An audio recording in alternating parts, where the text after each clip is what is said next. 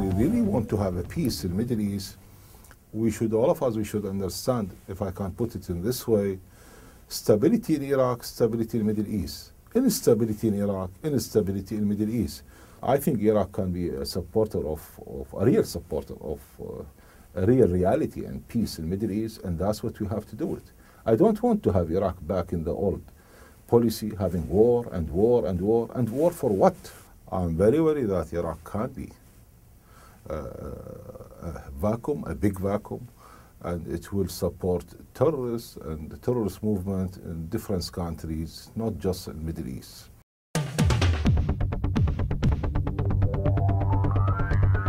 Iran, they must understand very well, there is no way to play games with the International Committee, and there is no way not to respect the United Nations uh, decision. And uh, I think, honestly, we are so soft with Iran.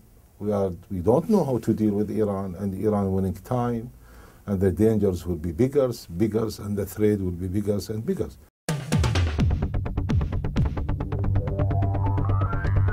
Israel is a reality in Middle East. And why should I don't talk to Israel? I mean, why should I wait as Iraqi politician or as Iraqi state? Why we should have the green light from Tehran or Damascus or Arafat or Abu Mazen? Iraq is Iraq. I do believe Iraqi-Israeli relationship in the economic and the both interests, general interests, we might be and we will be the real supporters for uh, the hope to have one day a peace in Middle East.